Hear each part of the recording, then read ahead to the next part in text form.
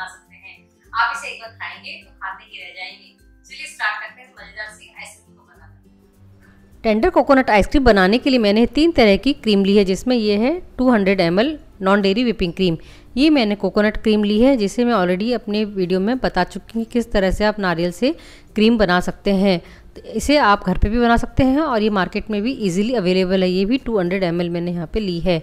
साथ ही में मैं यहाँ पर ये 200 हंड्रेड अमूल फ्रेश क्रीम ली है, जो कि ब्लू टेट्रा पैक में मिलती है। तो इस तरह से इस आइसक्रीम को बनाने के लिए हमें तीन तरह की क्रीम की ज़रूरत है, जो कि बहुत ही टेस्टी बनती है। अब मैं यहाँ पर दो टेंडर कोकोनट की मलाई ले ली है, इसे हम रफली चॉप कर लेंगे।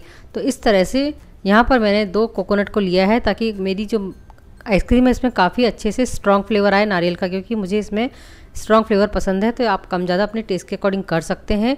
थोड़ी सी मैं यहाँ पर मलाई बचा लूँगी, उसे हम चंक्स में डालेंगे और बाकी की जो ये मलाई जो हम रफली चॉप कर रहे हैं, इसे हम एक मिक्सर जार में डालेंगे और साथ में हम इसमें फ्रेश जो नारियल का पानी होता है, वह भी डाल के इसे अच्छे से पीस लेंगे। तो 200 ग्राम के करीब मैंने ये मलाई ली है, साथ में हम पीसने के लिए 50 एम के करीब हम इसमें पानी डालेंगे। ज़्यादा पानी ना डालें, ज़्यादा पानी डालने से जो हमारी आइसक्रीम है, इसमें आइस क्रिस्टल्स जम सकते हैं। तो इस तरह से कम से कम पानी में हम इसे अच्छे से पीस लेंगे। और साथ में मैंने थोड़ी सी जो मलाई बचाई थी, जिसे हम बाद में चंक्स के रूप में डालेंगे तो इसे एकदम फाइन चॉप कर लें। जितना फाइन आप इसे चॉप करेंगे, खाते वक्त ये मुँह में आते हैं, बहुत ही बढ़िया इसका टेस्ट आता है। तो आज आपको मैं बिल्कुल मेरे टेस्ट के लिए और मेरी फेवरेट आइसक्रीम बनाना बता रही हूँ, जो बहुत ही अमेजिंग बनती है और एकदम नेचुरल टेस्ट आएगा, जो कि आप मार्केट से ये टेंडर आइसक्रीम खाएँगे, उससे भी अच्छा टेस्ट इस घर वाली आइसक्रीम का आता है। तो इस तरह से ये देखिए, मैंने पीस के तैयार कर लिया है।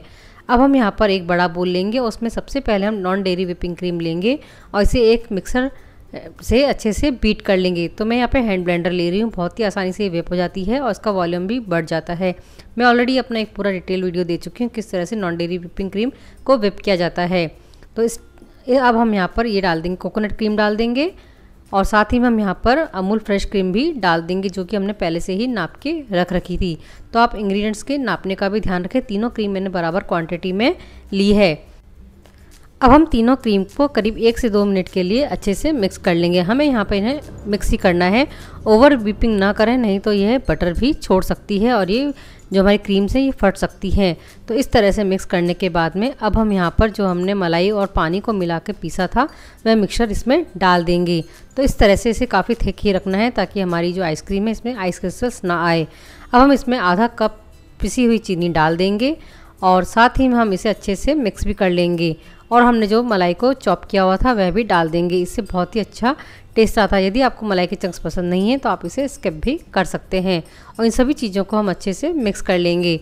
तो एक मिनट में हमारा ये मिक्स हो गया तो करीब दस मिनट में हमारी पूरी आइसक्रीम बनकर तैयार हो जाती है। आप देख सकते हैं सकते हैं कितना बढ़िया इसका मिक्सचर बना है, बहुत ही क्रीमी है। और इस तरह से तैयार मिक्सचर को हम किसी एक एयरटाइट कंटेनर में डाल देंगे। ध्यान रखें, जब भी आप आइसक्रीम जमाएँ, इसे एक एयरटाइट कंटेनर में ही डालें ताकि इसके अंदर आइस क्रिस्टल्स ना आए, क्योंकि हमें इसे फ्रीज़र में रखना पड़ता है। और इस तरह से हमारी आइसक्रीम बहुत ही अच्छी बनेगी। इसे ढक्कन लगा के करीब आठ घंटे के लिए आप डीप फ्रीज़र में सेट होने के लिए रख दीजिए। और जब आपको खाना है, इसे आप डीप फ्रीज़र से निकालें और आप देख सकते हैं कितनी अच्छी से हमारी आइसक्रीम जम चुकी है। अब हम इसे स्कूप आउट करेंगे। तो बहुत ही अच्छे से ये स्कूप आउट हो रही है। बहुत स्मूथ और सिल्की इसका टेक्स्चर आया, आप देख सकते हैं। अब हम इसे सर्व करेंगे। तो फ्रेंड्स यदि आपको नेचुरल फ्लेवर की तो टेंडर कोकोनट आइसक्रीम खानी है तो इस रेसिपी को आप ज़रूर ट्राई कीजिएगा। यदि आपने एक बार ये आइसक्रीम खा ली तो यकीन मानिए आप दूसरे फ्लेवर सारे भूल जाएँगे। बहुत ही यमी टेस्टी लगती है। और सबसे बड़ी बात है, बहुत ही सिंपल तरीके से मैंने आपको यहाँ बनाना बताया है। इस रेसिपी को ज़रूर ट्राई करें और अपने एक्सपीरियंस हमें कमेंट्स में लिख के ज़रूर शेयर करें।